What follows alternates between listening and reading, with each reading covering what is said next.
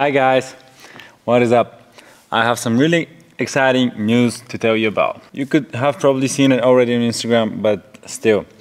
I've been working a lot lately on my new app and now it's finally ready to be presented. The whole idea about the app is to teach you how to jump rope in an exclusive way, but not only how to jump rope. I've incorporated my strength training program, my jump rope skills, and I built this thing called Untangled app.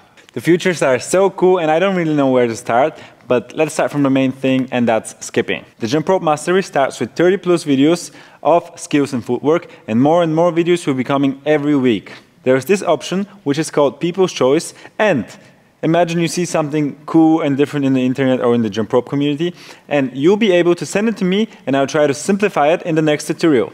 We are going to have weekly skipping challenges, starting with something easy of course, and there will be prize for the best performance absolute every week. Then, on to the next one, the training program.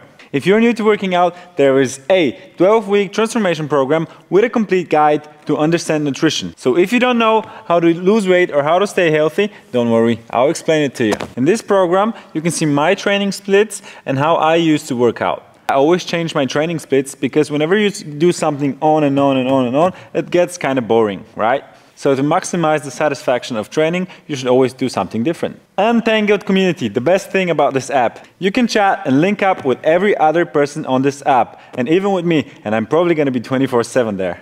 I'm gonna do live calls and trainings from time to time, and I'm gonna answer all of your questions and try to help with whatever I can. In the community channels, you can post your progress pictures, get encouragement from the others, get inspired, be the inspiration, or just exchange experience. Of course, there will be more upcoming features, but for now, that's it. I can just promise you that, that with every single day passing by, I'm gonna try to make this app better and better. Love you guys so much, and I'm really thankful for every second of attention that you're giving me.